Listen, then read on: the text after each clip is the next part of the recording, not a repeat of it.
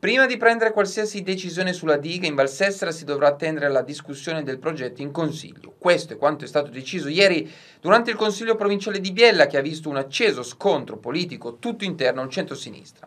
Ma andiamo con ordine. La mozione sulla realizzazione della seconda diga in Valsessera era stata firmata dai consiglieri del Partito Democratico, da alcuni della Lega Nord e da Giuseppe Leardi, capogruppo della destra. A tendere il tranello ai consiglieri democratici è stato Silvio Belletti, capogruppo della sinistra. Il consigliere ha presentato presentato un emendamento alla mozione col quale si richiedeva di chiedere un'audizione del consorzio Baraggia al fine di capire esattamente quali siano le compensazioni territoriali, dopodiché si potrebbe decidere.